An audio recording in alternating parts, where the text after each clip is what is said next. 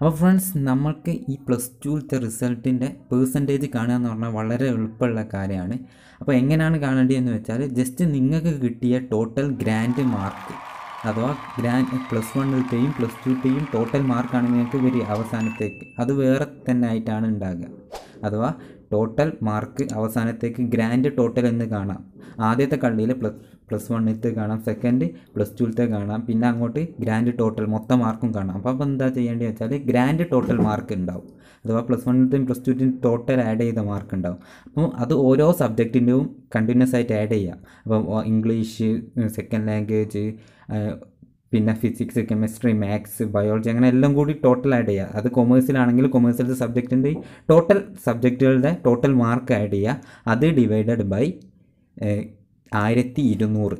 അത് divided by ആയിരത്തി ഇരുന്നൂറ് ആയിരത്തി ഇരുന്നൂറിന് എവിടെ നിന്നാണ് കിട്ടുന്നത്? അത് നമുക്കറിയാം. നിങ്ങളുടെ ടോട്ടൽ മാർക്ക് ഒരു കുട്ടിക്ക് പ്ലസ് വണ്ണിൽ നിന്നും പ്ലസ് ടുവിൽ നിന്നുമായിട്ട് ടോട്ടലായിട്ട് എത്ര മാർക്ക് വാങ്ങാം?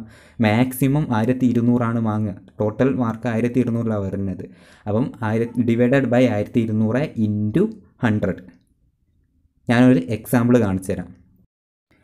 ഇതിൽ നമുക്ക് കാണാം first year second year grand total എന്നിട്ട് ഒരു രീതിയിൽ കോളങ്ങളായിട്ട് തിരിച്ചതായിട്ട് കാണാം. അതിൽ ഫസ്റ്റ് ഇയറിൽ കാണാം C E T E total അതുപോലെ തന്നെ സെക്കൻഡ് ഇയറിൽ കാണാം C E P E T E പിന്നെ ടോട്ടൽ സി ഇ എന്തുകൊണ്ട് ഉദ്ദേശിക്കുന്നത്? കണ്ടിന്യൂസ് ഇവാലുവേഷൻ പി ഇ എന്ന് പറഞ്ഞാൽ പ്രാക്ടിക്കൽ ഇവാലുവേഷൻ ടി എന്ന് പറഞ്ഞാൽ ടെസ്റ്റ് ഇവാലുവേഷൻ അതാണ് നിങ്ങൾ എഴുതുന്നത്. എക്സാം എഴുതുന്നതിന്റെ മാർക്ക് പിന്നെ ഒരു ടോട്ടലും നമുക്ക് വേണ്ടത് അതൊന്നുമല്ല. ഗ്രാൻഡ് ടോട്ടൽ എന്നുള്ള ബോക്സിൽ സി ഇ കാണാം പി ഇ കാണാം ടി ഇ കാണാം ടോട്ടൽ കാണാം.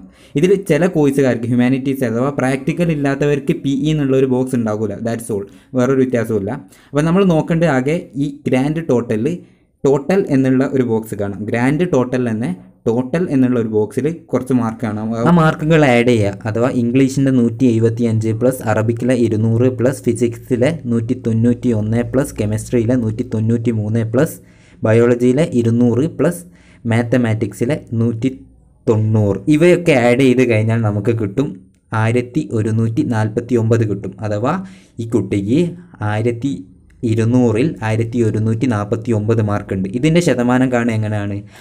അപ്പോൾ നമ്മൾ ചെയ്യേണ്ടതെന്ന് വെച്ചാൽ ആ നമുക്ക് ടോട്ടൽ കിട്ടിയ ആയിരത്തി ഒരുന്നൂറ്റി നാൽപ്പത്തി ഒമ്പത് ഹരിക്കണം അഥവാ ഡിവൈഡഡ് ബൈ ആയിരത്തി ഇരുന്നൂറ് ഇന്റു അഥവാ ഗുണിക്കണം നൂറ്.